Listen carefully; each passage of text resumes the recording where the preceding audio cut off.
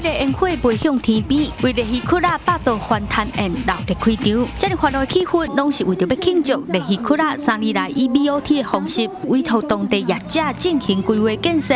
那环境改善，业者嘛开档本且国宝级的师傅打造一尊十二米高的观音像。我们每一个穴位都是哦，用我们这个山的形状哦，山的地理位置来啊造成的。同时上面又有一个呃这个中心楼，我们中心楼上面现在要立一个十二公尺全部用铜铸成的。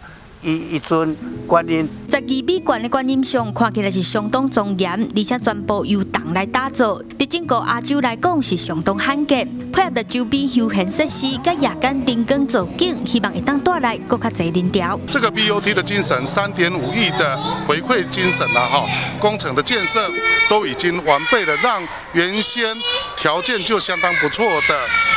这个鲤鱼潭风景点更加的漂亮，所以说在这边欢迎大家共同来到鲤鱼潭来观光。老的节目一个接一个，配合着水舞，和这个暗暝变了五光十色。今日游客嘛坐伫高台顶欣赏表演，为高雄来游客，因为高雄有一个热气窟啦，感受就特别不同。这里的环境是比较大，然后高也比较干净。